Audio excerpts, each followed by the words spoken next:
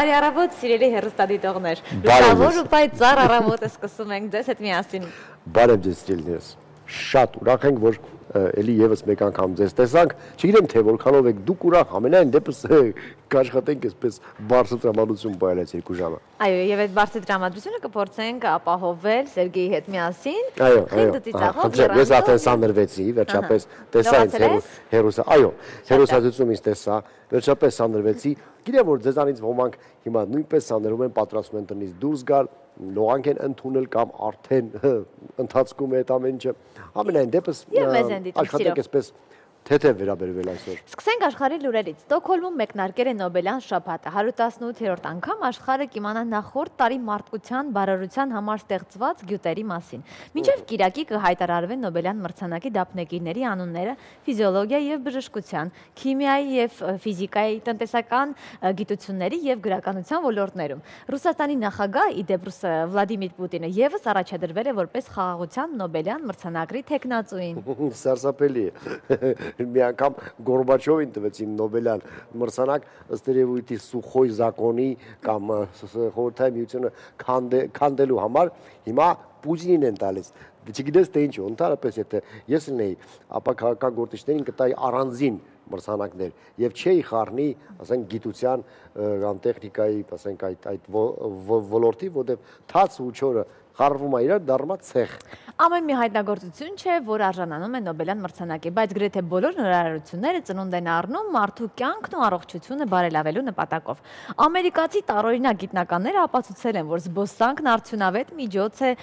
քաղցկեղի դեմ պայքարում։ Այն կանայք, ովքեր բնության գրկում զբոսնում են շաբաթական 7 ժամ եւ ավելին 14%-ով նվազեցնում են կրծքի քաղցկեղի հավանականությունը։ Պատկերացրու շաբաթական 7 ժամ քայլեն։ Կրծքերով են քայլում, թե ինչ Շաբաթել տակը ժամ չի մնաց ոգի ջան։ Այո, այո։ Արևին են տալիս երևույթին։ Իսկ նրանք ովքեր նախընտրում են ֆիզիկական մարզումների ակտիվ տեսակները 25%-ով քիչ են բախվում օնկոլոգիական հիվանդություններին։ Պարզ է, Վարդուի ջան, պարզ է, դա ընդհանրապես բան, հա, առողջ հոգում։ Այդ էս լեզուտ փաթ կընկնի։ Առողջ մարմին, առողջ մարմնում առողջ հոգի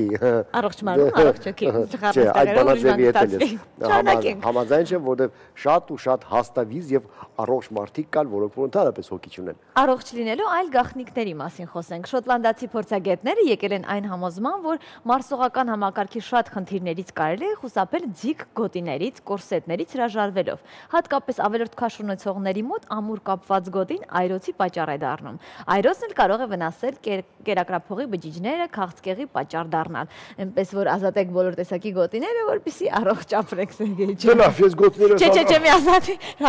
Հալա, օքեյ։ Լուրեր աշխարից Ավստրալիայում մեկնարկել է արև արևային մարտկորցներով ավտոմեքենաների մրցաշարը։ 20 երկրների տեխնացուներ, այդ թվում Ճապոնիայի, Սաուդյան Արաբիայի, Միացյալ Նահանգների եւ Իրանի ներկայացուցիչները պետք է անցնեն 3000 կիլոմետր։ Մրցաշավի մայրուղու մեծ մասն անցնում է անապատի միջով։ Լավ կլներ, որ նման մեքենաներ մենք է ունենայինք, սակայն վատ եղանակի պայմաններում, չէ, Սերգեյ ջան։ Այսօրվա շարիկ իրան լավ չի զգում, եւ պետք է մի լավ պատժել Ջեկոին։ Ես առաջարկում եմ այս պայն Սերգեյ, դիտենք եղանակի տեսությունը։ Այո, հասնենք եղանակի տեսությունը։ Գագի ջան, ուրեմն այ քեզ քեզնից է կախված, ես կկախվեմ այսօր թե ոչ, խնդրեմ։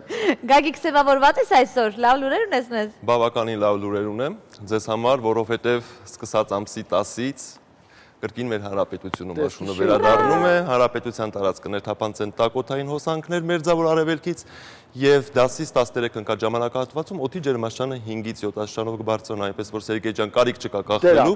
որովհետեւ մեզ շատ հաճելի տաք աշնանային օրեր են դեռ սպասվում։ Շատ լավ, Վարդուն իր բրթերը կտա արևին էսօր, լավ է, նորմալ է, հանգնացինք, հա։ Եղանակի տեսությունը ներկայացնում է Samsung ընկերությունը։ Հետևեք Samsung ընկերության նորություններին եւ անակնկալներին Samsung Armenia Facebook-յան էջում։ Իսկ մեր հանրապետության տարածքում գործող ցիկլոնը աստիճանաբար տեղաշարժվում է դեպի հարավ եւ իր ազդեցությունը հիմնականում կունենա Գեղարքունիքի, Վայոց-Ձորի եւ Սյունիքի մարզերի վրա։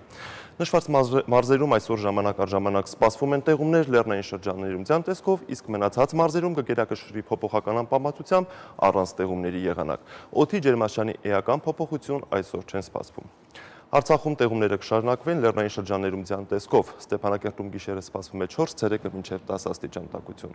Այսօր տեղումնարարտ կլինի նաև Սյունիքի մարզում, առանձին հատվածներում կդիտվի մառախուղ, քամու ուժ գնացում, իսկ նախալեռներում եւ լեռներում տեղումները սպասվում են ձյան տեսքով։ Մեղրիում գիշերը սպասվում է 7, ցերեկը մինչև 15 աստիճան տաքություն, Կապանում գիշերը 5, ցերեկը մինչև 11 աստիճան տաքություն, Գորիսում գիշերը 1, ցերեկը մինչև 6 աստիճան տաքություն։ Վայոց ձորի մարզում նույնպես սպասվում են տեղումներ ջերմուկի հատվածում ձյան տեսքով։ Ջերմուկում գիշերը սպասվում է 5 աստիճան ցուրտ, ցերեկը 6 աստիճան տաքություն, Եղեգնաձորում համեմատաբար տաք է, գիշերը սպասվում է 2, ցերեկը մինչև 12 աստիճան տաքություն։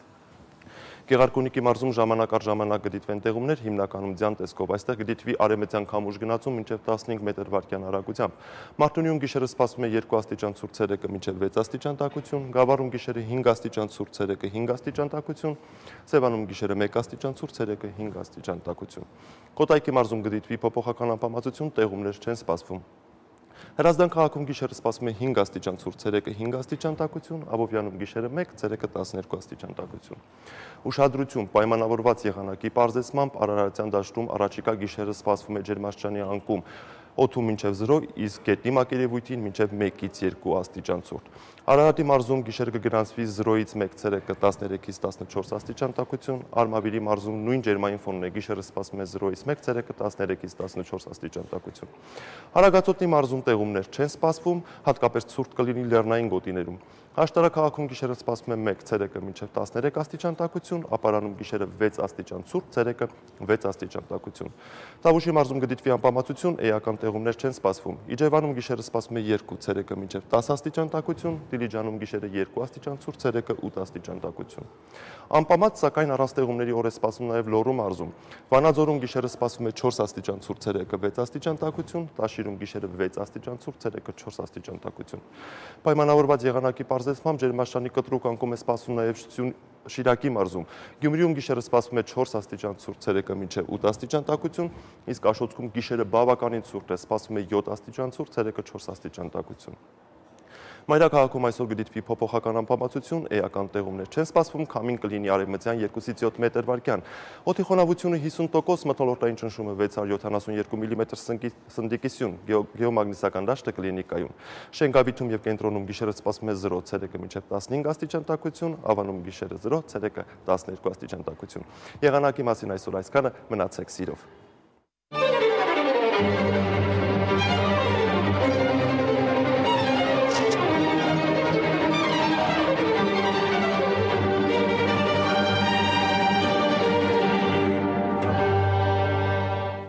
Շարունակենք եթերը։ Պարզվում է, որ հանգստյան օրերին մարդիկ ուտում են կալորիայի ամեն շաբաթյա չափաբաժնի կեսից ավելին։ Նիհարել փորձող մարդկանց մոտ 3 քառորդը խոստովանում է, որ հատկապես հանգստյան օրերին են ուզում որևէ համեղ բան ուտել եւ 3500 կալորիա են ծախսում։ Եվ պետք է նշեմ, որ տղամարդկանց օրական անհրաժեշտ է 2500, իսկ կանանց 2000 կալորիա։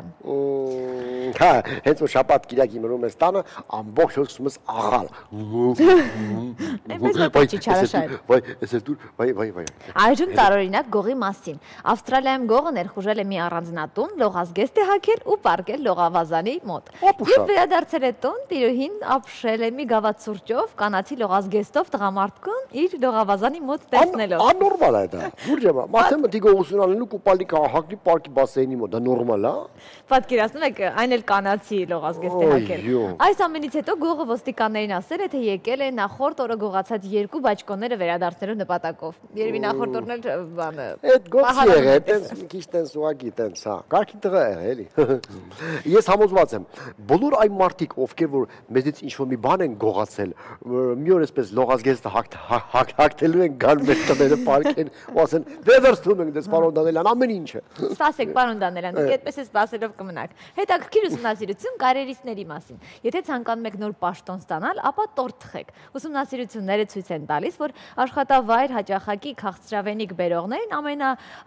ամենայն հավանականությամբ ձգտում են պաշտոնի բարձրացմանը։ Գրեսենյակային աշխատողների շրջանում անցկացված հարցման արդյունքում մեծամասնությունը խոստովանել է, որ ամսական գոնե մեկ անգամ թխված կամ տորթ են բերում եւ Սերգեյ ջան խոստովանում են, ասում են, ես եմ պատրաստ է շատ համեղ բայց իրականում գնել են այդ տորթը։ Մի օր չբերեցիք, էլի, մի հատ տորթ ապայմամ տիքցանուն դլնի կամ էսի ինչ լինի որ բերեք բերում եմ որ գործի գալ ավել կիմանա չէ չէ չէ հենց դա ես եմ ամենը գործի դու հազարից մի անգամ ես գալի այո։ Բերեք մի օր բերեք մի հատ տորտ ուտեին կարավոտ շուտ, վայ։ Էլ ինչ կուզեր։ Ոչի բան,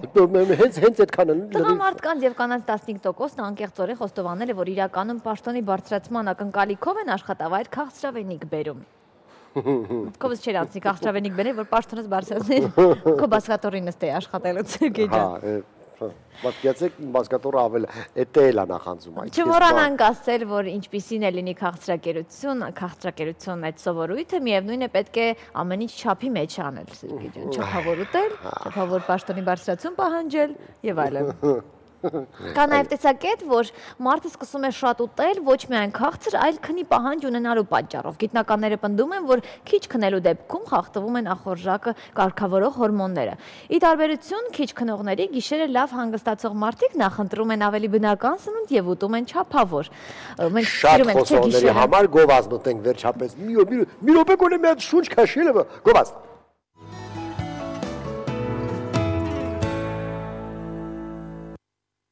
Եկել է ժամանակը շնորհակալություն հայտնել նրանց,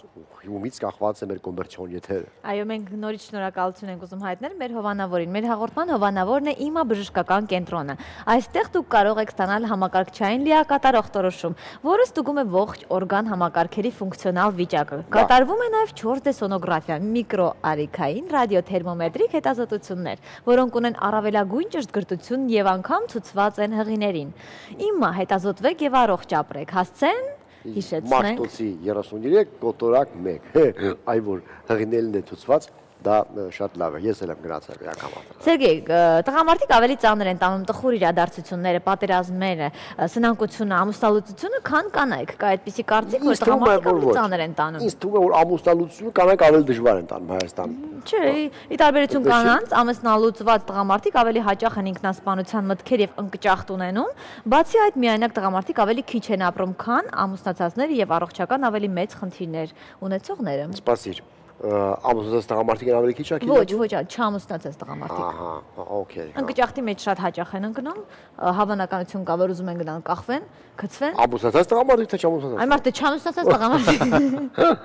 Վիճակագրությունը փաստում է, որ 50-ականներին ամուսնալուծվում էր ընտանիքների միայն 3%-ը, 60-ականներին 10%-ը, 80-ականներին ամուսնալուծվում էին 33%-ը։ Մեր օրերում ապա հարձանով է ավարտում աշխարհի ամուսնությունների 45%-ը։ Սարսափելի թիվ է։ Մարդիկ ամուսնանում են, որ ամուսնալուծվեն։ Բ- Շատ է լավ թիվը, ինչ ա եղել։ Այդ մենակ քեզ դուր կգար։ Ինչ ինչու ոչ։ Կարծիքներ կան, որ ամուսնալուծությունը մեծամասամբ երիտասարդ ընտանիքների խնդիրն է, սակայն կան մի քանի պատճառներ, որոնք հենց հիմնական խնդիր են դառնում։ Օրինակ, վատ սովորությունները, թմրամոլությունը, չգիտեմ, ընդ հարբեցողությունը, խաղամոլությունը։ Այո։ Հիմնականում դա առաջի խռասնելը։ Չէ, խռսնելը հարդեր չի բաժանվել։ Երկրորդ տեղում է դավաճանությունը։ Դա էլ է Բավին ամուսնալուծության միշտ ասում էր որ դավաճանությունը ամենաառաջի տեղում է։ Պարզվում է որ ոչ, ընդհանրապես երկրորդ։ Երրորդ տեղում վաղ կամ չմտածված ամուսնությունն է, որ երեխաներին ամուսնացնում են նախապես ծնողները Սերգեյ ջան։ Բաշի քարտმა են գցում փոքր ժամանակվան։ Չի քարտմա։ Չորրորդը սոցիալական- ծնողներով պայմանավորվում են, որ ասում են, ահա դու աղջիկ ունենաս, ես տղա ունենամ, ապա կամուցած ենք իրենց։ Մենք չպայմանավորվեցինք, չէ՞։ Մենք չէ, Հա, չէ, այդպես եմ ասում, այո։ Չորրորդը սոցիալական դժվարություններն են պատճառ դառնում ամուսնալուծության եւ հինգերորդ տեղում ամուսինների ծնողների պատճառով ցակած վեճերն են։ Սա էլի կարող է մոտ տարածված ինձ թվում է ամենա առաջի տեղում այդ վեճերն են, երբ որ ծնողները խառնում են, երկրորդ տեղում է սոցիա- սոցիալականը, եւ հետո կամած կամած բարբերաբար նրանք, որովհետեւ ա, Եվրոպայում առաջին տեղում են։ Համամիտ եմ եւ իհարկե տրոհվում են այն ընտանիքները, որոնք ստեղծվել են հաշվարկով, ապահովված են նյութապես, բայց զուրկ են փոխադարձ սիրուց եւ հարգանքից։ Սուտ ամենաամուր ընտանիքները նրանք են, ով սոցիալապես ապահովված են եւ մարդիկ ոչ թե սիրով են ամուսնացել, որովհետեւ սերը, ասենք, մի օր անցնելու է, այլ իրար հարգելով։ Այո, իրար հարգելով եւ ժպտալով անցնենք առայցել։ Այո։ Ժպիտը ոչ միայն բարձրացնում է տրամադրությունը, այլ նաեւ առողջարար է։ Առաջին բանը ինչ անում է դեռևս լույս աշխարհ չեկած մարդուկը ժպտում է։ Մոր արգանդում ձևավորվող փոքրիկը սկսում է ժպտալ իր կյանքի 26-րդ շաբաթում։ Դեռ չգիտի որ հետո ծնվելու է լացով։ Դեռ չգիտի։ Մասնագետներն ասում են, որ նորածինների ժպիտը շրջապատող մայրերի ձայների կամ սեփական զգացողությունների անգիտակից արտացոլումն է։ Իսկ գիտակցաբար երեխան սկսում է ժպտալ 3 ամսականից։ Մեծերը օրական ժպտում են 7 անգամ, 40 անգամ ավելի քիչ, քան երեխաները, եւ մեծամասամբ կեղծ։ Դու կեղծ հաճախ ես ժպտում, Սերգեյ։ Չէ, ես միշտ էլ բերանս բաց է, չգիտեմ դա լավ է թե թե վատ, բայց հաճախ եմ ժպտում բայց անկեղծ ժպիտը շատ առողջ արար է Սերգեյ ջան։ Այն օգնում է իմուն իմունային համակարգին, այն օգնում է անգամ վիրուսներից ձերբազատվելու, ստրեսներից ձերբազատվելու, այնպես որ երբ դուք ժպտաք, առողջ կլինեք։ Ժպտացեք միմյան, ժպտացեք, այո, դա այնքան էլ վատ բան չի։ Այո։ Առավոտվանից մուննատները քաշած դեմքերից դուրս են գալիս տնից եւ հա տեսեք ինչ ինչ լավ է։ Թեկուս կեղծ, բայց չէ կեղծ չի, անկեղծ է։ Իդեպ ժպիտը նաեւ բարձրացնում է իմունիտետը։ Մենք ունենք տեսանյութ իմունիտետի մասին պատմող, հենց որտեղ էլ մեզ բարձ կդառնա, թե ինչպես է բարձրացնում առողջական վիճակը ժպիտը։ Իմունիտետը, այո։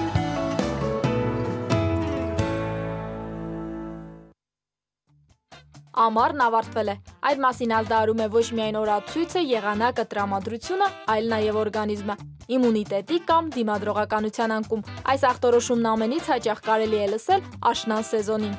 Որը կարճանում է մի փոքր հոսանքները ավելանում են, մեր օրգանիզմը չի հասցնում ադապտացվել արագ փոխվող ինչ-որ մթնոլորտային վիճակներին։ Դեղատներում կարելի է գտնել դիմադրողականությունը բարձրացնող 100-ից ավելի հապ, Քիչ չեն նաև գնորդները, թեև դրանից չի նվազում հիվանդացողների քանակը։ Այո, բավականին մեծացել է դեղերի վաճառքը, հատկապես իմունիտետ բարձրացնողները, հակաբորբոքայինները, կախված եւ եղանակի հետ կապված։ Միշտ չի որ դեղորայքով ամեն ինչ կարելի է վերականգնել եւ ցանկալի չէ։ Դեղորայքը պետք է մնան վերջին этаպում։ Այսինքն հաբերն օգնում են իմունային բջիջների արտադրմանը, որոնք ոչ թե վիրուսների ու բակտերիաների ոչնչացման միջոց են, այլ ընդհանրապես խոչընդոտում են դրանց արագ բազմացմանը։ Կամ մի տարիք փոքր երեխաներ մոտ, դա մոտավորապես 3-ից 5-6 տարեկան է, երբ որ իրանք գրեթե տարին մի քանի անգամ հիվանդանում են, ինչը պայմանավորված է նրանով, որ իրանց իմունային համակարգը սկսում է աշխատել եւ իրանք սկսում են ինչ որ ձևի արձագանքել այն բոլոր ինֆեկցիաներին, որը կա մեր շուրջը։ Բայց փորձը ցույց է տալիս, որ այդ հատվածում ինչքան շատ երեխաները հիվանդացան, այնքան հետագա կյանքի ընթացքում իրանց իմունային համակարգը ավելի ամուր է լինում։ Իմունային համակարգը որոշ չափով իջնում է հղիների մոտ, որովհետև այդ պարագայում բջիջների արտադրությունը ավելի նվազում է եւ օրգանիզմը ավելի շատ պահանջել ունենում ինչ որ նյութերի։ Իսկ տարեսների համար այն բացարձակ անօգուտ է, քանի որ տարեսների օրգանիզմում նոր բջիջներ չեն կարող արտադրվել։ Փոխարենը դեղերը կարող են նպաստել ճնշման բարձրացմանը։ Ինչ-ինչ պատճառներով գնում է ընկճում։ Առաջինը դա կարող է լինել սննդակարգը, դա կարող են լինել քրոնիկ ինչ-որ հիվանդություններ, զուգօգցող քրոնիկ ինֆեկցիայի օջախ, օրինակ ախտահարված ատամնաշար, բորբոքային որոշ process-ներ, թե գինեկոլոգիայում, թե դիմացանոթային հատվածում, այո, դրա հետևանքով ընդհանուր իմունային համակարգը ընկճվում է։ Իմունիտետը լավացնելու լավագույն տարբերակն այնուամենայնիվ բնական ճանապարհն է։ Միս եւ կատնամթերք սպիտակուսներով հարուստ այս մթերքներն են իմունիտետի խթանման լավագույն միջոցը։ Իմունիտետի բարձրացմանը նպաստում է նաեւ C վիտամին պարունակող մրգերն ու բանջարեղենը։ Մշտական ինչ որ վիտամին C կօգտագործի, որpիսի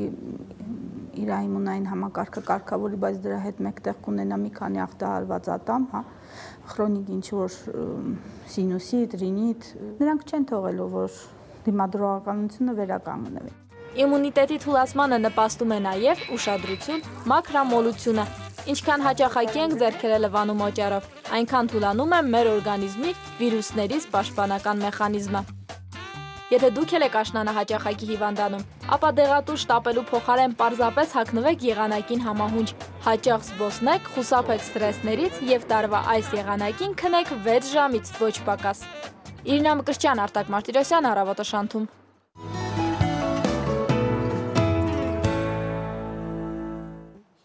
Այո, իմունիտետը բարձրացնում է նաև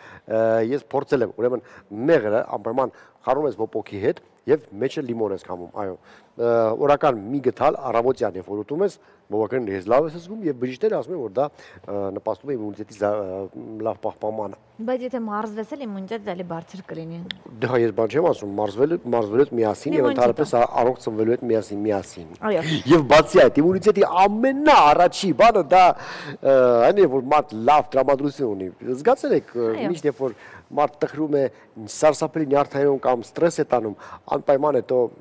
հիվանդանում, այդտեղ են կչվում է իմունիտետ։ Դրա համար միշտ բերաններ բացեք, ժպտացեք եւ ուրախացեք։ Թքած բոլոր խնդիրների վրա։ Խոսենք ընտանեկան կյանքի նրբությունների մասին։ Գիտնականները ողջել են, որ ավելի հաճախ են բաժանվում այն կանայք, ովքեր վատ են քնում, որպես կանոն կանանց անքնության պատճառն ամուսինների խռմփոցն է։ Նայած պատճառ թե ինչու կինը գիշերը չի քնե։ Չխախտեք մեկը մյուսի հետ։ Պարզ է որ խռմփոցի պատճառով, այո։ Բրիտանացի մասնագետ Մասնագետների ուսումնասիրությունները վկայում են, որ 50 տարվա համատեղ կյանքի ընթացքում խռմփոցով ամուսինը զրկում է իր կնոջը 4 տարվա քնից։ Պատկերացնում ես 4 տարի Դե լավ, 4 տարի ավել է ապրում, որովհետև մարդ 1/3 իր կյանքի միևնույն է քնած է անցկացնում, հիմա 4 տարի է պակաս քնի ինչ վատ է։ Եթե հավատանք վիճակագրությանը, ապա քնած ժամանակ սարսափելի անկառավարելի ձայներ է արձակում աշխարի 980 միլիոն տղամարդ։ Այո, դա զգացել եմ բանակում։ Դե բանակում բոլորը միասին են քնում այսպես զորանոցում, հա, եւ տարբեր տարբեր տարբեր ձայներ է լսում։ Այս աղմկոտ երևույթի պատճառներին հետաքրքիր մեկնաբանություն են տվել մեր գործընկերները։ Դիտենք խրփոցի մասին։ Տարբեր լեզուներով է այդ ամենը։ Չէ, չէ, այդ որ գիշերը խոսում են իր հա, տարբեր տարբեր լեզուներով։ Խրփոցը մի խրփ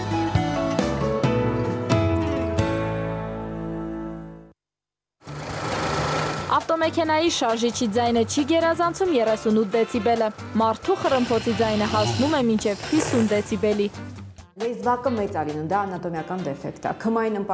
քմային մկանները թուլացած են լինում, կամ քիմքը ուղակի ցածր է լինում, չեմ կարող ասել, դա էլ անատոմիական դեֆեկտ։ Եվ քնած ժամանակ իրենք ինքնաբերաբար թուլանում են։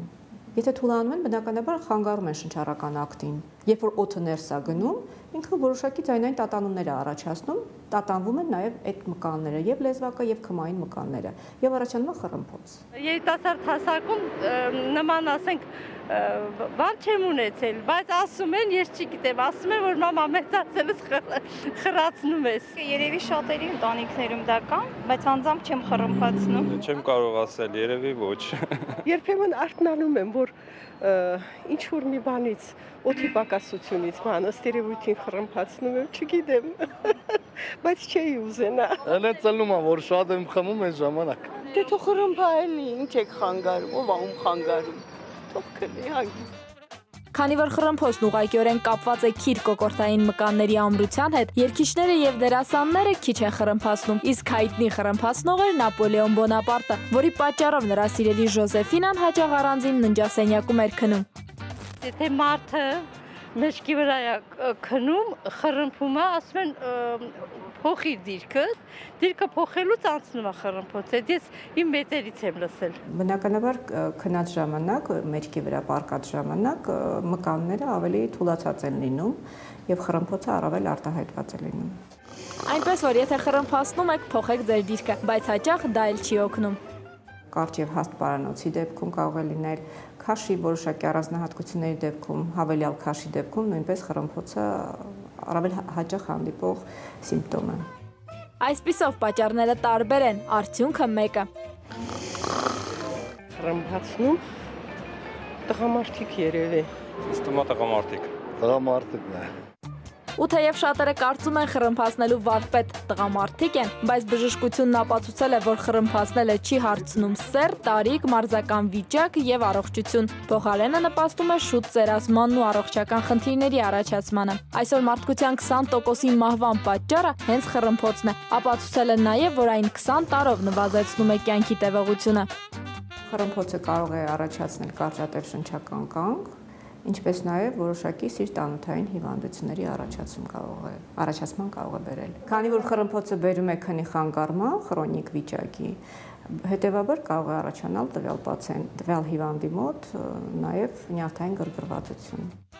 Բացի առողջական խնդիրներից խրմփոցն առաջացնում է նաև անձնական խնդիրներ։ Ամուսնալուծությունների մոտ 12%-ի պատճառը հենց խրմփոցն է։ Ամենաշատ խրմփացնող ազգը կորեացիներն են։ Պատճառը գենետիկ առանձնահատկությունն է։ Խրմփոցների քանակով կորեացիներին հաջորդում են ամերիկացիները։ Այս դեպքում պատճառն արդեն երկաշն է։ Սակայն ցանկացած թույն ունի նաև հակաթույն։ Գիտության զարգացումն առաջարկում է խրմփացնելուց ազատվելու իր տարբերակները, որոնք սակայն ոչ բոլորի համար են արդյունավետ խռմփոցի վերացման լավագույն տարբերակը իհարկե վիրաբուժական միջամտությունն է, սակայն տարբեր этаպներում կարելի է խորհուրդ տալ նաև շնչառական վարժություններ, որոշակի յուղային քթային կաթիլներ, որոնք փակեցնում են ուղղակի լորձաթաղանթը շնչառական ակտը հեշտացնելու համար։ Իր ժողովրդական բժշկությունն առաջարկում է ուտել հում կաղամբ առանձին կամ մեղրի հետ, որը նպաստում է քիթ կոկորտային մկանների ամրացմանը։ Ասում են, սիրելի մարդու ձայնը խռմփոցի նման տհաճ է, իսկ սիրելի խռմփոցն անգամ երաժշտություն է հիշեցնում, սակայն այդ երաժշտությունը շուտով կվերածվի մղձավանջի, եթե խռմփոցը տարիներ շտեվի։ Իրինա Մկրտչյան, Արտակ Մարտիրոսյան, Արավոտը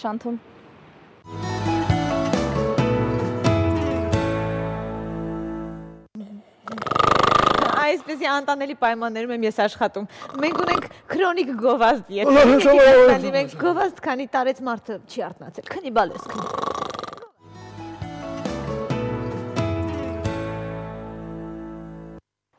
Նորից բարի լույս բոլորին։ Վայ, այդ փոքր ժամանակ ենք տենց բաներ անում։ Հիմա մեծացել ենք արդեն։ Լավ, մեծացել ենք։ Անդրադառնանք վերջերս մեծ աղմուկ հանած հայտնիների ամուսնալուծություններին, քանի որ առավոտյան խոսում ենք ամուսնալուծությունների։ Այո, բամբասելու համար հերք իրանչի։ Բաժանվում են հանրաճանաչ Շերն եւ Օզի Օզբերները։ Վերջապես, վերջապես 30 տարի համատեղ կյանք ապրելուց եւ 30 տարի իր այդ վիճելուց վերջապես որոշեցին բաժանվել։ Նա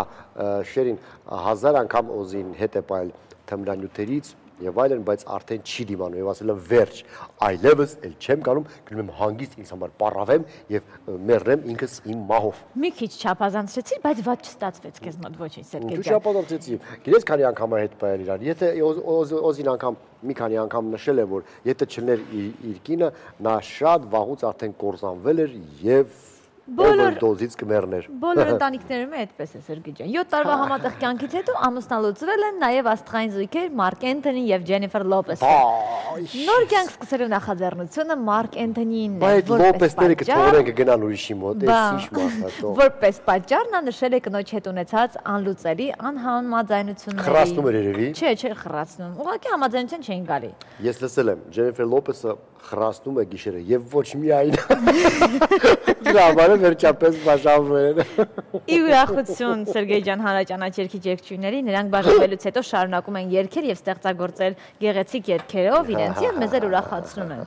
այս բան առաջարկում եմ դիտել մելոդիկա էջը որտեղ Սոնա Ռուբենյանը մեզ կներկայացնի մի շատ գեղեցիկ երգի պատմություն ողջույն Սոնա ողջույն ինչպես ես Շատ լավ, դուք ինչպես եք։ Շատ լավ։ Ինչ եք պատրաստել մեզ համար այսօր։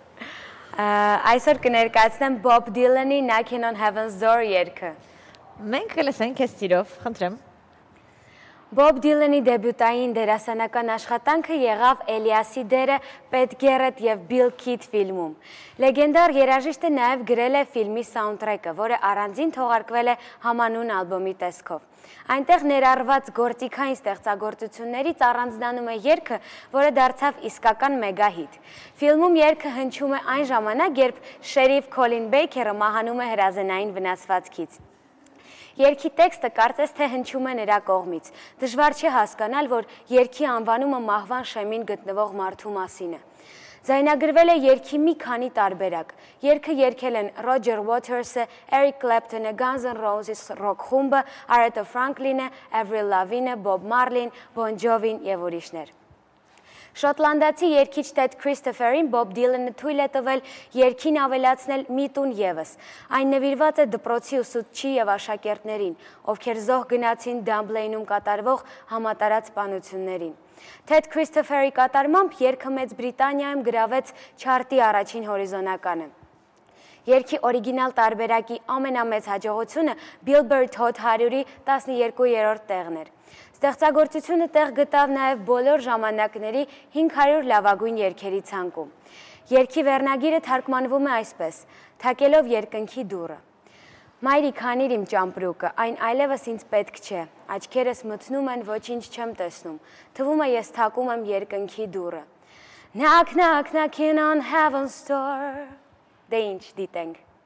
Շնորհակալություն Սոնա, տրամադրություն բարձրացնող երաժշտություններ։ Այո, շնորհակալություն։ Շնորհակալ եմ շատ նաև ճաշակով ձեզ։ երաժշտություն։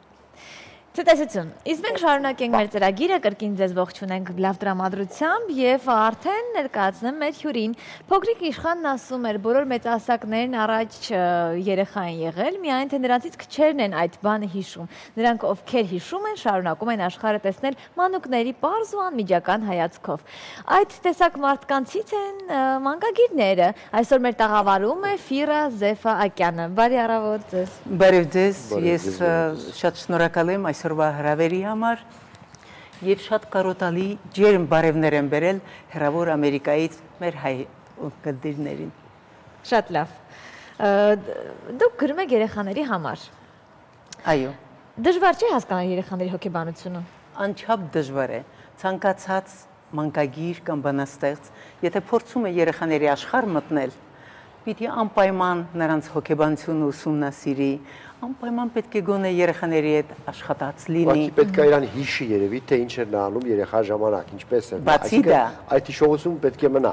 Սիրգե, եթե նա չշփվի գոնե արիթմերով երեխայի հետ եւ աշխատած չլինի, դա անկեղծ չի լինի։ Իսկ ցանկացած բան ինչ երեխաներին ամենաբարդ, ամենահետաքրքիր եւ հոգեբանական անցումներ ունի բոլոր գրքերը, որտեվ այդ պահին ես հիշում եմ այն տարիները, որ անցկացել եմ երեխաների հետ եւ ամեն մեկի բնավորությամբ ինչ որ փորձում եմ մի բան ստեղծել, որը հոգեհարազատ լինի երեխաներին։ Նա իսկ ը, որտե վա- ը, վաճառվում է ձեր գրքերը։ Անկեղծ ասեմ, այստեղ Հայաստանում ը, 2000 գիրք ես նվեր եմ տվել ծնողազուրկ երեխաներին, թանգարաններին, գրողների միությանը, նախարարություններ, ինչու որովհետև այդ երեխաները չեն կարող գնել։ Գիրքը նրա համար է, որ հասնի հասցեատիրոջը։ Եթե ես պիտի գրեմ պարզապես միայն վաճառելու համար, այդպես ճիշտ չի լինի։ Հենց մանկան հոգին միայն լուսավորվում է, եւ մանուկին ես հասցնում։ Եվ քեզ այդ սկսում է Այո, արդեն բայց հա, եւ այնպես գրողը պետք է ապրի, չէ՞, դա ձեր հացն է, դա ձեր ասենք աշխատանքն է, որ պիտի գնահատվի, որ պիտի վաճառեք, որ պիտի հասույթ պիտի Ամենակարևորը։ որ հետո էլի տպեք, հա, որովհետեւ խնդրեմ, միայն այսպիսի միայն, ասենք, կազմով թանկ, ասենք, դա թանկ, է։ թանկ հաճույք է, ասենք, դա Ճիշտ եք այնքան ասում, ճիշտ եք ասում, բայց միայն կազմը չէ, իմաստը։ Օրինակ այդ գիրքը նորից ցուցադրեք, խնդրում եմ։ Բայց փորձեք հետ դրեք, ցեղակիցը ցեղակցի հետ պետք է ամուսնանա։ Ինչ խորհուրդ ունի։ Ամեն գիրք, եթե չունի խորհուրդ, նշանակում է անիմաստ է սրա գրելը։ Գույները երեխային շահագրգռում են, որ մոտենա։ Այդ նույն գույներից հետո գալիս է միտքը։ Եթե միտքը չի կարող երեխային բավարարել, չի հետաքրքրվի։ Եվ ես փորձել եմ նորություն իբրև հերոսը աղվեսն է, ես խաղալիքները, եթե ցույց տակ հետո լավ։ Խաղալիք եմ սարքում, այդ խաղալիքի հետ պետք է անպայման երեխան շփվի եւ այդ նույն հերոսի համար գրում եմ երգ որ երկը երկի շոշափի ինչպես օգուստ ռոդենն էր ասում ինչեւ շոշափեմ չեմ զգա չէ ուրեմն ինքը պիտի անպայման այդ երեք ը, էտապները անցնի որ շահագրգռվի որպեսզի կարողանա ինքը Շատ լավ։ Երանի այն բոլոր բնորդ բնորդուհիներին, ովքեր որ անցել են Օգուստ Ռոդենի ձեռքերի տակով, իսկ մենք անցնենք գովազդին։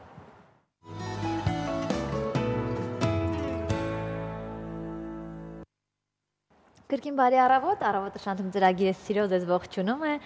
եւ մենք շարունակում ենք մանկագիր Ֆիրա Ակյանի հետ մեր զրույցը։ Դուք 20 տարի արդեն բնակվում եք Միացյալ Նահանգներում, ինչպես է հաջողվում այնտեղի հայ երեխաների հետ ը, աշխատելը։ Որովհետև նահանգներ- նահանգներում մարդիկ շատ տարբեր են, ասենք ամբողջ աշխարհի աշխարհից փյուրքից հավաքված փոքր-փոքր Ճիշտ փոքր է։ գաղութներ են, էլի կարելի ասել, հա։ Ասեմ ամենակարևորը ցանկացած երեխա, եթե ունի հետաքրքրություն, անպայման գնում է այդ ուղղությամբ։ Կարդալ հիմա շատ դժվարացել է անգամ այստեղ, բայց մանկագրությունը միշտ երեխային հաճելի պահեր է, հատկապես հեքիաթները։ Ասացեք խնդրեմ, միթե մեծերը, երբ մի գործ հաջողվում է, չեն ասում՝ «Լսի, ոնց որ հեքիաթ լինի», չէ՞։ Այդ հեքիաթը պիտի պահպանվի բոլորի մոտ, բոլորի սրտերում։ Ինչու՞։ Որտեղ հեքիաթը հոգեպես հանգիստ է տալիս։ անջատվում են պահերով, իսկ այն երեխաները, որոնք օտար ափերում են, դժվար է, բայց ես առիթ եմ ունեցել ամերիկյան Արդիվայդ Ջեֆերսոն դպրոցներում, որ ունեին ընդամենը երկու հայկական խումբ։ Եվ Ալինան նրանց ուսմասվարը, երբ գրախանութում գնել էին իմ գրքերը, ասեց ուզում են երեխաները դες այդ հանդիպում ունենալ։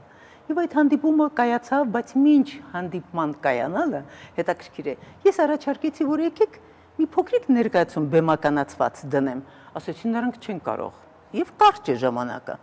Ես փորձեցի ամեն օր մի 10 օր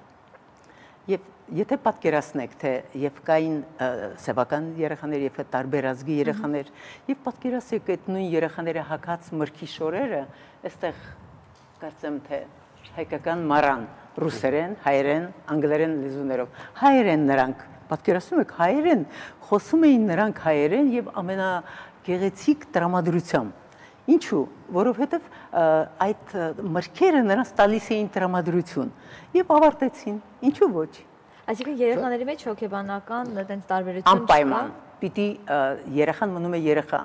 Նշանակություն չունի։ Մի փոքրիկ էպիզոդ ասեմ։ Սանտա Բարբարայի գնացե եւ այն ժամանակ անգլերեն չկար թարգմանված ինքերույս էր հրավիրե։ Մենք նստած ծովափին եւ գրքերն է դրել էինք ու նայում էր։ Ինչ լավ է, ինչ լավ է։ Հանկարծ ներխուժեցին դպրոցի երեխաները եւ երկու մեծ տղաներ եւ մի փոքրիկ կանգուր մազերով սեբուկ տղա էր ինձ հասկանում եք նա առանց հարցնելու վազեց եւ նստարանից վերցրեց գրքերը օ հիմա այն մեծ տղան ասում չի կարելի don't do that բան չմի արա դուք այնքան հեքիաթային եք պատմիստը դուք հիմա էլ հեքիաթի մեջ եք անկա եւ վերցրեց ասում է օ ասում է լեդին հարցրու հայերեն է ասում է խնդրում եմ կարելի է որ դուք հետո անգլերեն թարգմանեք այս սրանք ինձ էլ է հետաքրքրում ես հիմա տաստված որ նորից արիտ լինի հանդիպելու, որովհետև այդ տղան կիմանա, որ ես փորձեցի հասցնել, որ անգլերեն նույնպես թարգմանվի եւ իրեն էլ հասնի իմ հեքիաթները։ Դեք շատ կարևոր է մի քանի լեզվով ունենալ, ունենալ, որովհետև այս նույն հայ երեխաներն էլ արդեն որոշ մասը լավ չի կարդում կամ ասենք խոսում են, բայց չի կարդում հայ հայերեն։ Լավ կլինի, որ անգլերեն է լինի։ Կա անգլերեն, հայերեն, ռուսերեն եւ առաջարկություն եմ ստացել ֆրանսերեն, իսպաներեն լեզուներով։ Գիտեք, սա այսպես հեշտ չի ստացվում։ Եթե ինձ օգնող այդ սպոնսորներ կոչվածը, այսինքն նրանք չլինեն, իսկ նրանք ընկերներ են, ոչ թե պարզապես հատուկ մարդիկ են, իմ ընկերներից, բժիշկներ են։ Ամենակարևորը որ մարդ ունենա շրջապատ, հա, հենց այդ ընկերները, մարդկային շփումները, դա է, ասենք, մարդուն առաջ տանում։ Դուք իրենց եք օգնում, նրանք ձեզ են օգնում, եթե Պարզ է որ դա շատ կարևոր բան է։ Եվ վերջո, եթե դա երեխաների համար է ցանկացած անհատ, ուզում է որ անպայման ինչու, եթե դրանք գունեղ են, եթե հետաքրքիր են, ինչու չհա։ Ձևավորում անում, շատ պատկերավոր Ասեմ, իմ աղջկա Սամուսինը Կարեն Հակոբյան, ինքը դիզայներ է, երաժիշտ է եւ տարբեր ոճի մեջ ես չէի կարողանա այս ամենին հասնել, եթե ինքը իր օգնության կարիքը չներ։ Պաստորեն դուք համ հեքիաթներ եք գրում, համ երգեր եք գրում։ Տեխնիկագործ եմ ես։ Տեխնիկագործ եք։ Իսկ դուք լավ էլ կպարեք։ Ինչ գիտեք, բայց այդպես ողջույն բարի եք, ես գիտեմ, նա վարդում ինչպես կարելի է չճանաչել, չհիշել։ Մեկ անգամ արիտ կունենանք։ Լավ։ Որտե տեխնիկի բարերն է դերը GPA մանկապարտեզում, տուփերի մեջ բերեցին երկու երեխաներ, մեկը տեխնիկի 30-ել էր իմը եւ բարեցին, բարեցին, հետո իրենց տարան իբր տեխնիկներ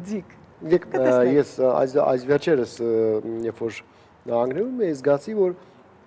սփյուռքը, այսպես ասած, մի քիչ ընկճախտի մեջ է, մի փոքր դեպրեսիայի մեջ է։ Նա ծանր է, դժվար է, այսպես տեղից վեր կենում, դժվար է ինչ որ տեղ գնում, առաջվանը չի ալու, մարդիկ միշտ հավաքվում են իրար հետ, ամեն անգամ մի համերգ է լինում կամ մի կամ մի բան մարդիկ տոմսեր ուղակի խլում են իրար ձեռից, իսկ հիմա մի տեսակ ինչ որ ապաթիայի մեջ են բոլորը, նու ոչ բոլորը, բայց մի բան չի։ Իսկ ինչ է կարծում, ինչու։ Իսկ ինձ Ես ունեմ իմ իմ վարկածը, բայց կուզեի դուք, եթե կարելի է մեկնա մեկնաբանեք։ Սիրով, չնայած դա այս մանկական աշխարհին չի վերաբերվում, բայց միևնույն ժամանակ ինչու ոչ, եթե զրուցում ենք։ Վերաբերվում է, ինչպես չի վերաբերվում, դա նույն աշխատանքն է, որ պիտի վաճառվի հետաքրություն առաջացնի մարդկանց մոտ եւ այլ եւ այլ, իսկ իրենք նստած են իրենց խոհանոցներում շատերը գնում են աշխատանքի գալիս են տուն, վերջ։ Ասեմ անկեղծորեն, հենց սկսենք նրանից, որ ցանկացած ծնող հենց օրորոցից պիտի երեխային դասիրակի հետաքրություն մտցնի։ Կապը պիտի լինի մանկապարտեզ, ծնող մանկապարտեզ։ Հիմա ինչու է այդպես դեպրեսիվ։ Հիմա հիմա ինչն է։ Որտեղ տնտեսական վիճակը մի քիչ ստիպեց մարդկանց, որ շատ չհետաքրքրվեն համերգներով, ինչ որ գրքերով, հազիվ հասցնում են։ Մի քիչ դժվար է հավատացել։ Գուցե մեծերի համար հեքիաթներ գրե, գուցե փոխվի այդ կարծրատիպը։ Ունեմ, ունեմ եւ դա այ հիմա 4 գործեր կան, որոնք շատ հետաքրքիր են։ Ես մի փոքրիկ նորից էպիզոդ այնտեղ հրեշտակների մանկապարտեզ, ոչ թե մանկապարտեզ, մեծահասակների տուն է։ Ինչ հրավիրեցին Նարինե, կարծեմ դերասանուի, որ հետ եկավ ինքը, ինքն էր այնտեղ ու օրթում, եւ պատկերացեք 150 մեծահասակ կանայք եւ տղամարդիկ շրջապատած ինձ։ Ես երբեք նման այմա փշակավում եմ, որ խոսում եմ դրա մասին, թե ինչպիսի հաճույքով էին նրանք այդ հեքիաթներին վերաբերվում եւ իրենք են կարդում իրենց թորնիկների համար։ Ասում եմ մենք կարդում ենք, մենք ավելի շատ ենք հաճոյանում։ Ասում եմ սա մի աշխարհ է, որը իսկապես բոլորին է գրավում։ Եվ ես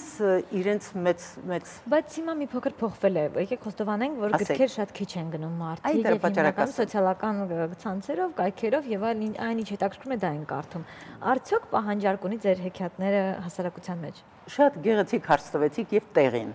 ասեմ որ մի բան ինչքան էլ որ ասում են գիտեք հիմա ոչ ոք չի կարդում ոչ մեկին հետաքրքիր չի այս երիտասարդությունը միայն զբաղվում է համակարգիչով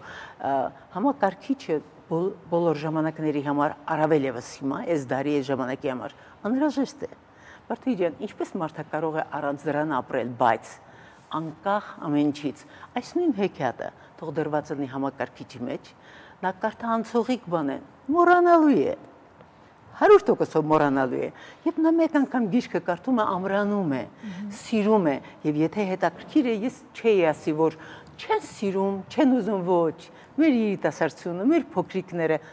անհամեստ թող չլինի մի բան պատմեմ։ Հունվարյան օրերին ու Թարսի պես հունվարի 1-ին եմ ծնվել պատրաստություն էի։ Շատ թարսա։ Եվ պատկերացրեք, փոքրիկ արևտուր էր եւ տեսնեմ մի սիրունիկ թշիկներով մի անշիկ տղա անցավ աչքով արեցի ու սից ուզում էի մոտենայի մի բան, ինքն էլ աչքով արեց ու վազեց։ Ես շատ վատը զգացի, մտածեցի, վախեցրեցի, ինչ եղավ, տղան փախավ իմ մոտից։ Մեկից տեսնում եմ, ես մեջքով կանգնած արևտուր եմ անում, բայց բարձվում է ծնողները հենց անմիջապես այնտեղ են ասում. «Մամի, մամի», ասում ինչ է կամած, տղա, սամոթ է։ Մամի ֆիրամորակույրն է այնտեղ։ Պատկերացնեք, որ իմ հեքիաթները լսել է։ Ես արդեն ասեցի, անհարմար է շուտ հետ դառնամ։ Ոչինչ տղաս, համբերի կշրջվի հետո։ Չէ, չէ, ասում եմ։ Հիմա ասում եմ կմտնի իր հեքիաթի մեջ եւ կկորի։ Ոդկասած չի գտնի։ Ես մոտեցա գրկեցի, համբուրեցի, ասի, արի գնանք, ես քեզ նոր գրքեր կտամ, որ դու կարդում ես։ Ձեր հեքիաթը։ Եվ ես տվեցի, եւ գիտեք ինչ այս մի վարքյանով միայն։ Եւ ես երբ տվեցի անգլերեն գիրք նոր լույս տեսած, ինձ ամանչացրեց։ Ոչ, ոչ, ֆիրամորակույր։ Անգլերեն մենք դպրոցում ենք անցնում։ Հայ հարիային գիրք տվեք ինձ։ Ֆիրամորակույր, հիմա կարող եք մի հեքիաթ հորինել իմ եւ Սերգեյի մասին, այ հենց տեղում։ Ինչ միտք ձեզ մոտ պահին։ Շատ վատավարտ կունենա այդ հեքիաթը, գործ չունեք։ Բայց ինչու եք դուք ինձ տրամադրում վատվետոկերով ոչ։ Լինում է, չի լինում մի հրաշալի բայր, որտեղ բնությունը գեղեցկությամբ իր հմայում էր բոլորին։ Այդ գեղեցիկ բայրում մարդիկ շատ քիչ էին լինում, որովհետև հոգսերով շատ տարված էին, նրանք արիչ չէին ունենում եւ հանկարծ մի փոքրիկ բնության գեղեցկուհի Վարդուի անունով փորձեց իր ընկերոջը հravirել եւ բնությամբ հիանալ եւ նրանք երկուսով զարմանալի բան է։ Նրանք լսում էին թրջուների դայլալոցը, նրանք այդ բնության գեղեցիկ ամեն ծաղկի հետ բարվում էին նրբությամբ եւ այսպես մարդիկ, գիտեք, բնությունը շատ գեղեցիկ է, կենթանիները նույնպես Կեստանների մասին հատվածը ես հասկացա որ ինձ էլ է նվիրված։ Եվ կամած անցում պիտի պիտի անեք, բայց չէ, անի։ Լավ։ Շատ շնորհակալություն, ձեզ շատ հետաքրքիր եթեր էր, ուղղակի ես ես ին վարկածում ունեմ, թե ինչու է Սփյուռքի հայությունը հիմա այսպես մի քիչ ավելի դեպրեսիոն վիճակում ֆինանսականը չէ միայն պատճառը որովհետև ֆինանսական ամենտեղ մի բան չի ըստ երևույթի այդ անտեսանելի կապը Սփյուռք հայրենիք միշտ եղել է երբ որ հայրենիքում լավ է եղել ձեզ մոտ էլ է ամեն ինչ լավ։ Քանի որ մեզ մոտ հիմա մի մի բան չի, ըստ երևույթին դրա համար այդ դեպրեսիան ձեզ է փոխանց փոխանցվում։ Ես թույլ կտամ հակասել, ինչու։ Ես գնացել եմ հայրենիքից ոչ գով վիճակով։ Ահա։ Անկեղծ եմ ասում։ Դա 95 թվականներին էր ես անուններով չեմ ասում ովքեր էին ղեկավարները եւ ամբողջ մեր գործարանները թալանվեց եւ Իրան տեղափոխվեց։ Մենք վաֆլիներ էինք ուտում, որոնք մի անգամ տղաս այրեց ցեղանի վրա։ Հա, հիշում եք։ Եվ չեմ կարծում, որ այն ժամանակները կարելի էր աշխատանքի ձրկվեցին։ 12 խմբանոց մանկապարտեզ եւ շատ-շատ հարցեր, որոնք հոգեպես ճնշում էր եւ կարծում եք թե դա կարող էր հայրենիքին հայրենիքը մնում է հայրենիք աշխարի որ մասերում լինեք ափսոս որ ես չհասրեցի կրթալ հայրենիքի դե վերաբերյալ մենք էլի արեցեր կունենանք կար մարդիկ որոնք որ բարբերաբար գալիս են մեր եթեր կարծեմ որ դուք էլի մի անգամ երբ որ Սիրով մի բան պետք ասեմ Սերգեյ ջան երկու օր առաջ ես եղա Սպիրկահայ նախարարությունում ես այդպիսի վերաբերմունք Ֆրանուշ Հակոբյանի կողմից չեմ տեսել նա գրքերը ամբողջ շարեց հravirեց բոլոր աշխատողներին նման բան չեմ տեսել անգամ մեր գրողների միությունում գնաց պարոն Անանյանը հիշատակված միշտ առաջի ելույթն է ունեցել ու գովե եւ ասեց տեսեք տեսեք սա մանկան աշխարհ է սա մանկան աշխարհ է որ մենք այդտեղից ենք սկսել եւ պիտի ավարտենք այդտեղից դուք նաեւ բարեգործությամբ եք զբաղվում այո գրքեր եք տալիս մանկատներին 2000 2000 որ իսկապես դա էլ չի եղա դեռ։ Իլավ, ձեր հեքիաթները ինչ են տալիս մանուկներին։ Ունեք նպատակ ինչ որ հեքիաթներով երեխաների մեջ սերմանել որևէ բան։ Այո։ Տեսեք, դուք երկրորդ հարցն է, որ այդպես կտրուկ եւ տեղին եք տալիս։ Սա որպես գիրք չէ։ Ցանկացած հեքիաթ ունի իր նպատակը, իր խորհուրդը։ Եթե դու ի վերուստ տրված է քեզ, որ դու պիտի անես նա, որը պիտանի լինի դիմացինի եւ հասնի հասիատիրոջը, ուրեմն միայն գունազարդ նկարները չեն։ Սա պիտի ինչ ես ուզում ասել։ Բոլոր հեքիաթները իմ ավարտվում են շատ բարի մտքով, տարբեր չարություններով, տարբեր անցումներով երեխան փորձում է հասնել իր նպատակին շատ մեծ դժվարություն, աշխատասիրություն, սեր բնության նկատմամբ, ամենակարևորը հարգանք միմյանց ծնողների նկատմամբ եւ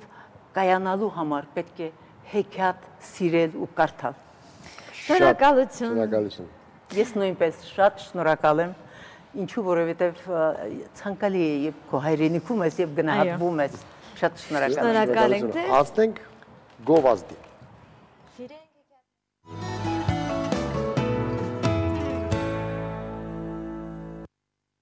Կրկին վերադարձանք, մենք տաղավարում ենք սիրով եւս ձեզ ողջունում ենք եւ ներկայացնեմ մեր հյուրերին։ Մեկնարկել է 11-րդ High Fest-ը, մինչեւ հոկտեմբերի 12-ը մեր մայրաքաղաքը ժամանի 25 թաթերախումբ 18 երկրներից։ Այդ մասին խոսելու ենք այսօրվա մեր հյուրերի հետ, ովքեր եկել են Պարսկաստանից։ Սիրով ներկայացնեմ Ալբերտ Բեգիջյանին եւ Դարիյուշ Մոատապյանին։ Բարի առավոտ։ Այո, բարև ձեզ։ Դե Հայֆեստը արդեն 10-11 տարի եկա, ես ամենասկիզբն եմ հիշում, թե ինչպես կամած սկսվեց, հետո թափառավ, դուք այս տարի ներկայացնում եք պարսկական, այսպես ճյուղը, հա, այսպես ասած, պարս պարսիկներին, ինչ հետարքի ներկայացումներ կան եւ ինչ որքանով էր այդ ներկայացումները այսօր Հայաստանում հետարքիր։ Գիտեք, կարող եմ ասեմ բոլորն էլ հետաքրքիր են իսկ դրա փաստը ավելի շատ դահլիճն է, որ մենք դեռ դատարկ դահլիճ չենք ունեցել։ Երկու հատ ներկայացումները ավելի Պարսկաստանի Լենգե քաղաքից էին եկել, այն Պարսկաստանի ամենահարավ շրջանն է, շատ հետաքրքիր էթնիկ ունի, այնտեղ եղել են աֆրիկացիները, հնդիկները, պորտուգալցի 200 տարի իշխել են եւ իրենց թե ազգագրական, թե մշակույթը, թե ճարտարապետություն եւ նամանավանդ երաժշտություն ազդված այդ բոլորից։ Եվ շատ հետաքրքիր է։ Երկու երկու ներկայացում այդ Լենգեի խումբն ուներ, Phoenix անունով, Punic։ Բավականին ընթառաջվեց եւ այսօր նորից մի հատ լավ ներկայացում ունենք ժամը 6-ին Իսկ ինչպես եք հաղթա հաղթա այդ լեզվական բարիերը, հա, ասենք դա թարգմանություն լինելու է տելեբրետոկա կարդանք հետո ասթե թե կարևոր չի իմաստը։ Գիտեք, ընտրությունները Թեհրանում ես եմ կատարում, աշխատում եմ այնպեսին լինի, որ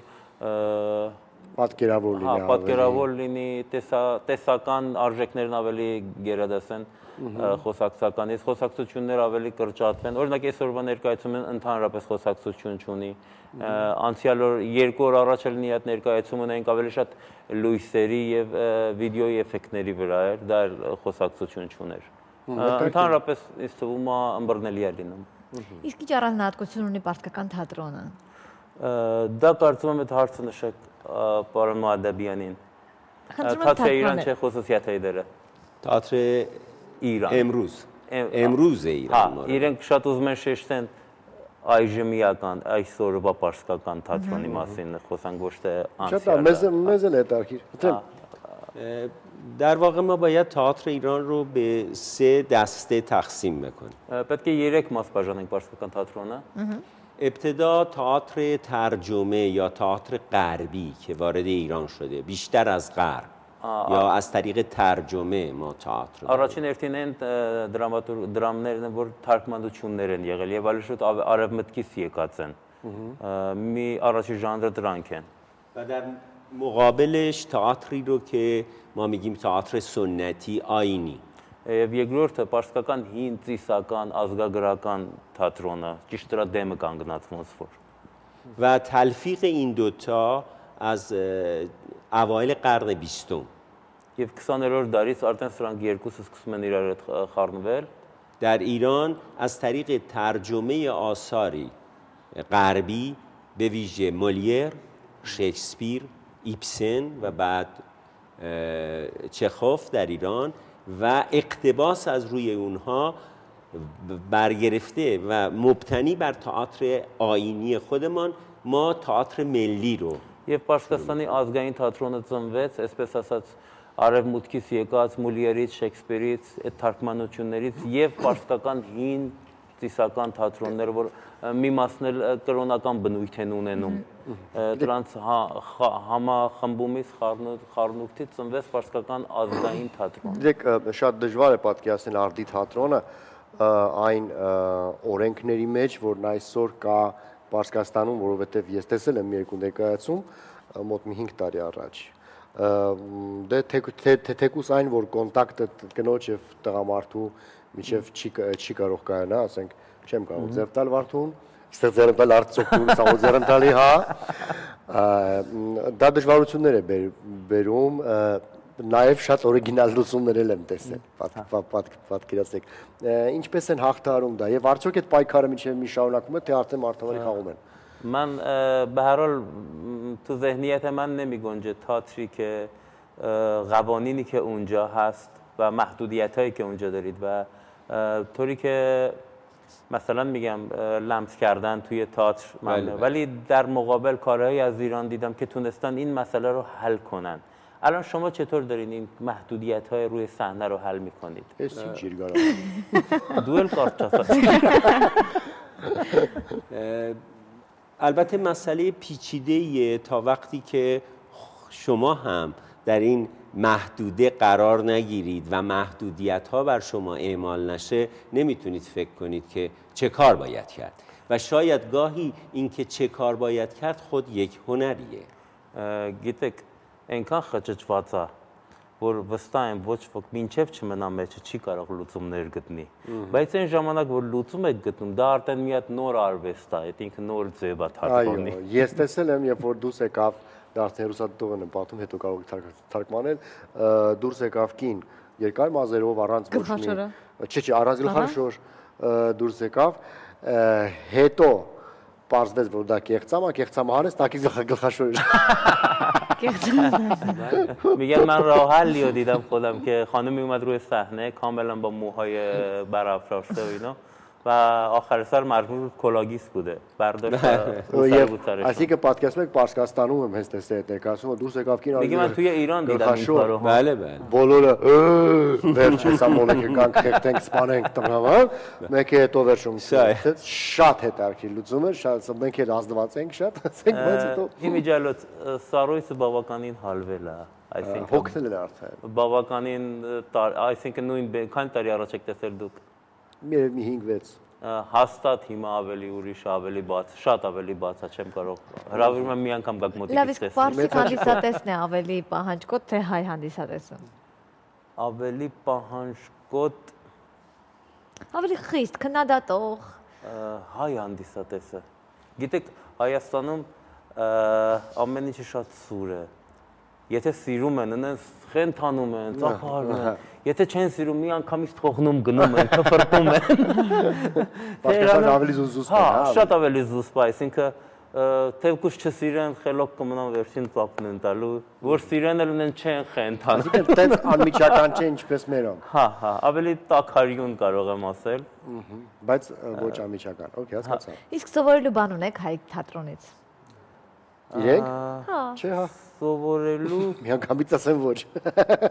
Չէ, ինձ թվում է Սերգի, ամեն տեղ մարդ սովորելու, ամեն այդ դա Պարսիկի փիլիսոփայությունն է, որ ամեն տեղ հասկացա որ դուք այնտեղ եք ապրել եւ դուք եք դիպլոմատ, ասենք պետք է միանգամից ասեք որ այո, բոլորը ծիած սովորելու, բայց մտքի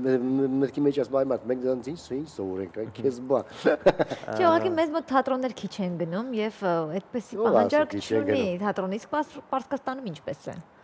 Համեմատելի չի Այսինքն շատ, այսպես ասեմ, հայֆեստ իմ հայտարարերը բան, անվճար, հազիվ սրահները լսվում են։ Երկե ընդառաջում այս տարի շատ լավ է։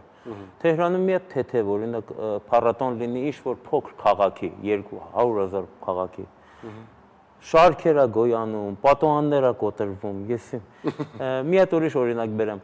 Ուսանողական թատրոն կա միջազգային այս տարի Թեհրանում, նաև ունի պարսկական բաժին։ Պարսկական բաժնում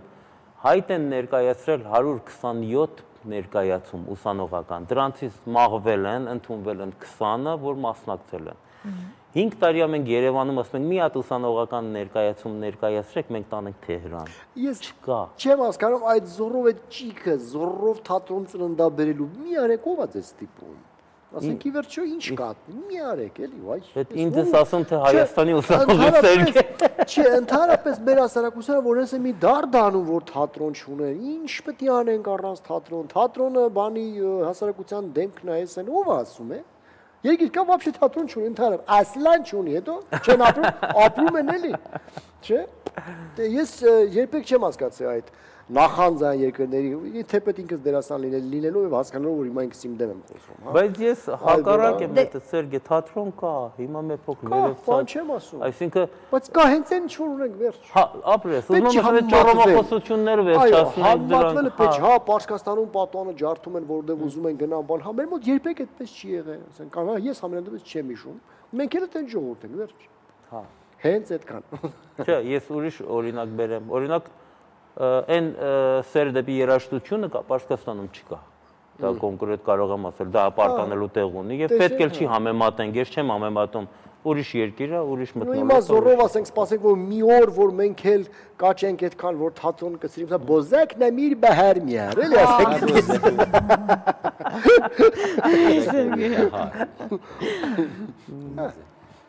Բարձրացման հա։ հա, հա, խոշալ եմ, որ իրավան հասամ و خوشحالم که در این جشنواره شرکت کردم. امیدوارم که بتونم خودم سال آینده در این جشنواره برنامه داشته باشم. اما راجب تئاتر ایران می‌تونیم خیلی صحبت بکنیم.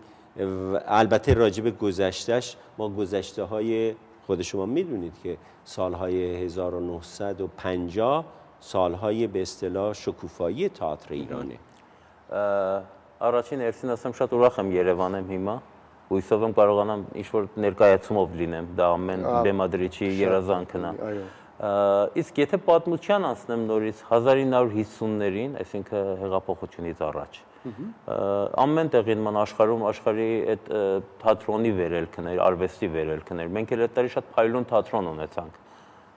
Պարսկաստանում։ Այդ թվականներին փայլուն թատրոններ կային։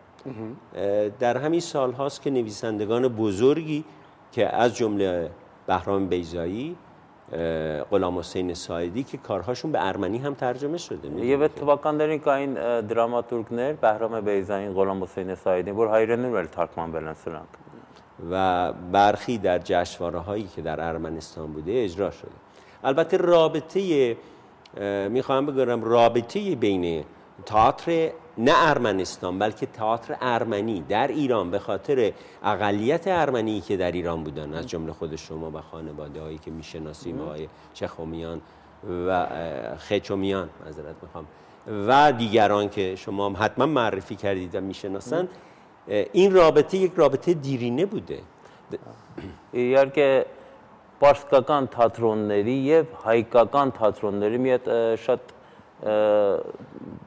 հին անցյալ ունեն եւ այդ հին անցյալը ավելի շուտ ոչ թե Հայաստանի, որտեղ փակ է եղել սահմանները։ Մենք Իրանի հայկական թատրոնները, Իրանի հայկական թատրոնների հետ ծեղմ հարաբերության մեջ ենք ելը։ Տարբեր դերասանների, տարբեր խմբերի, տարբեր անznավորություններ, որ աշխատել են այդ ոլորտում։ Дар айоми ки дар Иран шурӯъ кардим бе театр таъсис бар сурат ин театр новин شاید 150 سال پیش هنگامی که مولیر ترجمه شد ایرانی ها اجازه نداشتن زنان ایرانی به روی صحنه بیایند մոտ 150 տարի առաջ որ առաջին ներկայացումներն սկսեցին ունենալ Պարսկաստանում, ավելի շատ մուլիերով սկսեցին պարսիկ կանայք իրավունք չունեին բեմ բարձրանալ։ Մերոնք են։ و مرد ها جای زن ها رو بازی می‌کرد یک تقام آرتیک هنکانان دیر خواهم. ات زرونکل چی؟ زرونکل چی یارگه هلنیست اکاشتر جانم ات پسیره هارو نیتون تاری وره هلن نگانم چه؟ ارامنه تئاتر داشتم و در باشگاه آرارات من حتی کودک بودم دیده بودم که کارهای برجسته انجام می‌دادن و در گذشته های دور نخستین بازیگران زن ما ارامنه بودن. آراچین կանայք Իրանում որ բեմ են բարձրացել, հայ կանայք են եղել, եւ ես իմ մանկություն հիշում եմ Արարատ միություն կար։ Արարատ միության բեմում ես իմ մանկություն հիշում եմ լավ ներկայացումներ եմ տեսել, այսինքն գնում եմ մոտ 60 տարի Սերժ Հովսեփյանին, որը որ ժամանակին այնտեղ ներկայացումներ էր անում, ագորախումբ ուներ եւ այլն, մի 20 հատ։ Թիվ 2 թատերախումբ էին ասում Մելիքյանց խումբը, այո։ Շատ շնորհակալություն դզիկը դալիչներ եմ ցանկանում, նաև ցանկանում եմ, որ պարսիկ արվեստագետները հաճախ գան ստեղ, որովհետև մենք տեսնում ենք միայն պարսիկ վարորդներ են, ովքեր ովքեր մեղրից գալիս են Հայաստան, Հայաստան ու պարսիկ, իրանք պարսիկ են թե չէ, մեջներ ադրբեջանցիներ կա, իսկ ձեր մշակույթը որպես այդպեսին շատ միշտ հետաքրել է մեզ, դա կարող եք հետո թարգմանել։ Իսկ մեր եթերում գովազդ։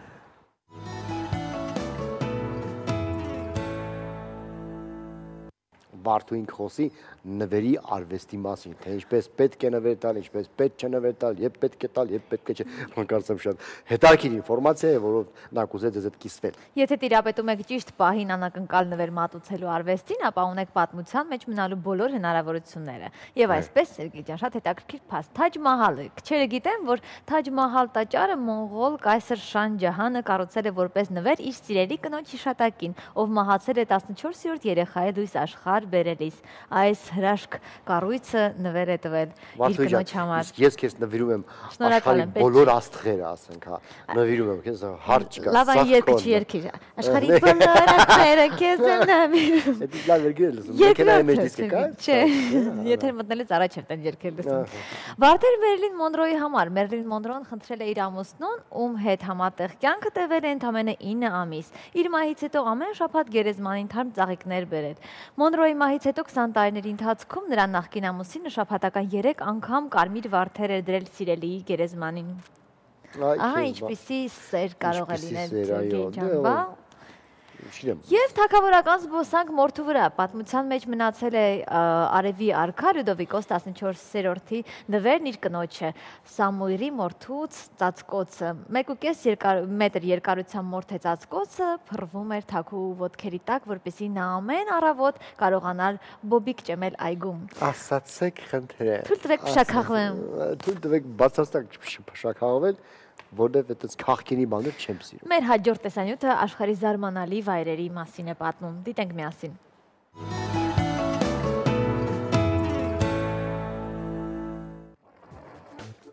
Գեղեցիկի չափանիշները ժամանակի հետ փոփոխվում են, սակայն մեր մոլորակում կան այնպիսի վայրեր, որոնց նկատմամբ ժամանակն անզոր է։ Բնության հրաշալիքներ։ Կանիո կրիստալես, այսինքն բյուրեղյա գետ։ Գունագեղ այս հրաշալիքը աշխարհում ամենագեղեցիկն է համարվում։ Կոլումբիայով հոսող այս հրաշքը տեսնելու համար նախ պետք է հասնել Լա Մակարենա քաղաք, ապա շարունակել ճանապարհը ձիերով։ Ամառվա ամիսներից մինչև խորաշուն ջրիմուրները կարծես վարպետ նկարչի վրձնահարվածներով գունավորում են գետի ջրերը։ Հենց այս պատճառով էլ տեղացիներն այն անվանում են 5 ծաղկի գետ։ Կանյո Կրիստալեսն ունի 100 կիլոմետր երկարություն, մոտ 20 մետր լայնություն եւ տասնյակ ջրվեժներ։ Բնապահպաններն այն անվանում են մոլորակի կենսաբանական հրաշքներից մեկը։ Աշխարհի ամենագեղեցիկ վայրերից է ճանաչվել Վայոմինգը, Ամերիկայի Միացյալ Նահանգների ամենալեռնային նահանգներից մեկը, որն ավելի քան 250.000 քառակուսի մետր է։ Տարածքի միայն 16%-ն է անտառածած։ Ձմեռն այստեղ բավականին խիստ է ու երկարատև, իսկ ամառը սարսափելի շոկ։ Վայոմինգի լեռները սակայն չքնախտեսք ունեն տարվա բոլոր եղանակներին։ Այս նահանգի ամենահայտնի վայրերից է Սատանայի աշտարակ կոչվող ժայռը, որը 1906 թվականին Թեոդոր Ռուզվելտի որոշմամբ պաշտոնապես ճանաչվել է որպես ազգային հուշարձան։ Եթովպիայի հանգած հրաբուխը բնության երբներանք հրաշալիքներից է։ Վերջին անգամ Դալոլ հրաբուխը ժայթքել է 1926 թվականին։ Հրաշք գունային ներկապնակը աղային կուտակումների հետ միախառնված քիմիական տարերի արդյունք է։ Դրանք հայտնվում են մակերևույթին ու բյուրեղանում։ Բյուրեղացած աղի սյուները երբեմն ունեն մինչև 40 մետր բարձրություն։ Դա է պատճառը, որ Դալոլն անվանում են նաև ծիածանե հրաբուխ։ Այսօր շատերի ուղևորությունը Թուրքիա ունի մեկ հիմնական պատճառ՝ տեսնել աշխարհում ամենագեղատեսիլ վայրերից մեկը՝ Պամուկալեն։ Ջեփ-ջերմակ քարաբեկորները, որոնց վրայով հոսում են առողջարար հանքային ջրերը, հերվից կարծես հսկայական բամբակե փաթիլներ լինեն։ Այս հրաշք տեսարանից էլ հենց ծնվում է անունը՝ Պամուկալե, թարգմանաբար բամբակե ամրոց։ Հանքային ջրերի աղերից եւ ջրի անընդհատ հոսքից դարերի ընթացքում ձևավորվել են հսկայական ջերմակ բյուրեղները։ Իսկ պամուկալեի մաքրամաքուր հանքային ջրերը գիտնականների հավաստմամբ կարող են բուժել անգամ սիրտ տանոթային ու հենաշարժական ամենատարբեր խնդիրներ։ Եթե կարծում եք, թե քարե անտառ գոյություն ունի միայն հեքիաթներում, ապա սխալվում եք։ Նման անտառ իրականում գոյություն ունի եւ գտնվում է Չինաստանի Յունան նահանգում։ Անհավանական այս վայրը ներառված է ՅՈՒՆԵՍԿՕ-ի համաշխարհային ժառանգության ցուցակում։ Քարե անտարի ընդհանուր մակերեսը 1100 քառակուսի մետր է, որտեղ խոյացող յուրաքանչյուր ժայռաբեկոր կարծես յուրօրինակ քանդակ լինի։ Թեև գեղատեսիլ, բայց մղձավանջային այս վայրում ուշուշ բոլորը միայն մռայլ ժայռաբեկորներ են։ Ավտանգության նպատակով տեղադրված են հերախոսներ ու տեսախցիկներ։ Ահա այսպիսի երկրային դրախտավայրեր։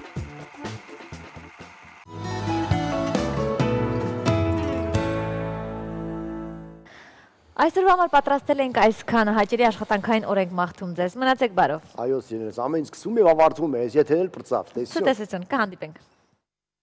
Thank you.